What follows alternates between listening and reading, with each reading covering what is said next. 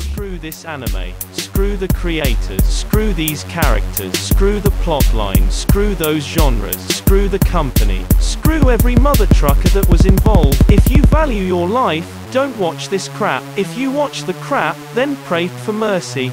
Dirty, disgraceful, disgusting, despicable. This hentai needs to burn in hell. If you value your life, don't watch this crap. If you watch the crap, then pray for mercy dirty, disgraceful, disgusting, despicable. This hentai needs to burn in hell. If you value your life, don't watch this crap. If you watch the crap, then pray for mercy.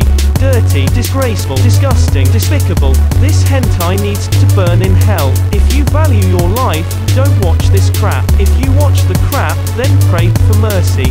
Dirty, disgraceful, disgusting, despicable. This hentai needs to burn in hell.